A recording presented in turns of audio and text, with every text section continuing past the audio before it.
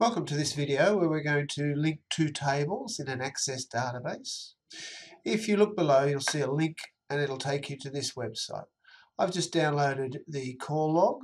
I'll now download the company list. So save target as, navigate to, I've just put it in a databases folder, DB1, save. So it'll come up here. Let's take a look at both of these tables and uh, well they're Excel spreadsheets we're going to put them inside uh, Access as tables. Now here's a list of company names and uh, here is a list of help desk calls from these companies. You'll notice in this table that some of the companies are mentioned a number of times. So we've got beta here, beta again, beta. So we call this redundant data. And when we put it in the database, the process is going to be called normalization, where instead of having those names repeated, they only appear once here. And if we have further details about each company, we only have to enter it once and then we can link here and those company details will come up on a main sheet. So for the moment, actually I'm just going to enter one more record here.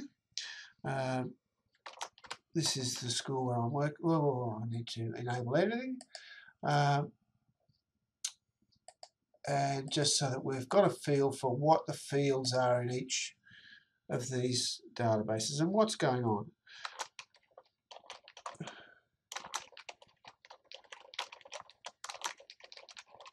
Uh, currently I'm working at Sydney Secondary College.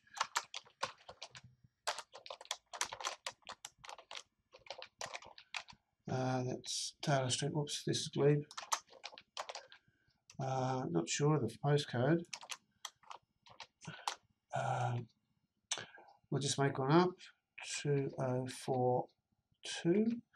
Uh, and the phone number can be uh, 02 uh, 2222 3333. Alright, so one more college. I'm actually going to copy that and I'm going to use that in this other database here so that I don't misspell it. Oh, it's not going to copy. Oh, is it because it's... Alright, copy and paste. There we go. Now, what are the fields that we need here? We need a an ID field. What I might do here is just freeze the panes. So if I click here, uh, go to layout, uh, where is layout on this one? All right, let's go to view and we will freeze the panes. Now, now if I slide left, I still can see my com uh, company. And if I scroll, I can still see my column headings. Alright, this needs to be unique. If I were to put in 27, we would have a duplicate and I'd have problems. Uh, and so the date is going to be 2016, 21st of the 10th. If I don't put in a year, it'll automatically put in the current year. And the format is different there. We can sort that if we need to. This call is open, which means that it has not yet been solved. It's medium, uh, medium importance. Oh, I've done that twice, my goodness. Uh, and uh, it's from the Blackwattle campus. Uh, and it's about a um, machine uh, with rolling black screen.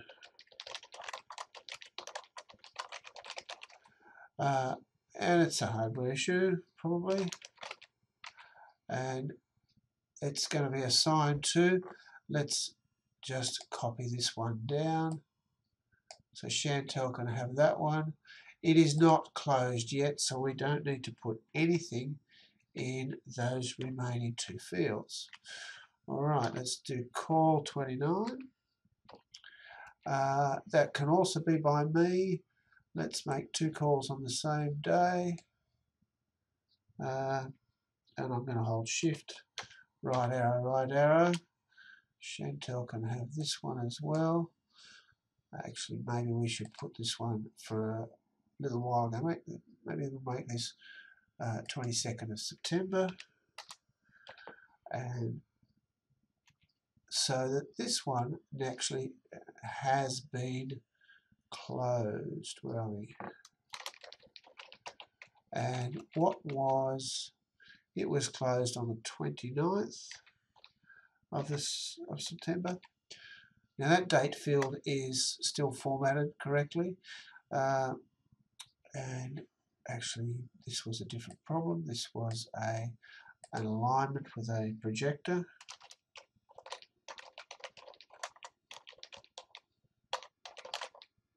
And uh, uh, instructor teacher.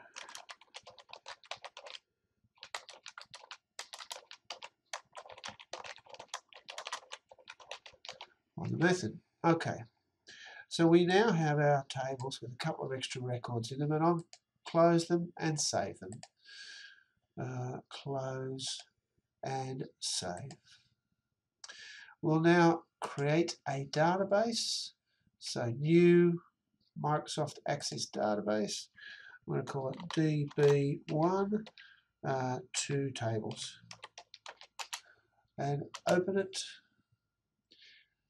now, if you're working on Access 2010, it will look very, you know, it has a slightly different look and feel, but it will behave very similarly. Now, external data, we are going to import from Excel. And we'll go uh, Browse, and in our Documents folder, we'll go Databases, DB1, and we'll import the call log. Okay. It's brought up, note that it's got the heading names in our first row. So we'll sort that in just a minute. Certainly does look right. Um, we've got no data on sheet 2 or sheet 3, so we definitely want sheet 1 here. Okay, we have got headings in our first row, so that's the second screen. Now, uh, these, we can adjust these numbers. I'm actually going to make this a long integer, which can be a key field.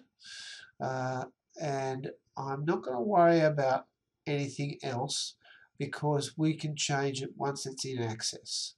So I'm going to go next. And I don't need access to choose a primary key because I already have one there with the call number. So yes, I'm going to leave the call number as the primary key. Let's go next. And I know that's unique. We looked at them before. Primary uh, key, a key must be absolutely unique. I'm going to call that table calls. I'm a little traditional in my labeling, so all my tables will start with TBL. And here we go. We do not need to save those steps because we're not going to import that same table again. If we were doing it on a regular basis, then uh, we would. Okay, there's our data sitting here in Access. We can format that and deal with it later. Right now, let's import the companies. Exactly the same process. Browse companies. You could pause here, do your own without having to check the video, and then uh, come back and check the video if you have troubles. Alright, this next field we are going to need yeah, short text means less than 256 characters. So let access add a primary key. I'm going to use my company name. Even though it's long, if you had thousands or even millions of records, you would use a number because it's only four or eight bytes. This looks like uh, 30 characters, so it's going to be at least 30 bytes. So, uh, but in our case, with only a small record set, we can use that as our primary key because we know all of those are different. Let's keep going. And I'm going to call that table companies. All right, we don't need to save the steps. Now we've got two tables in our database. All right, I think we'll stop this video here and we will make another one in a minute.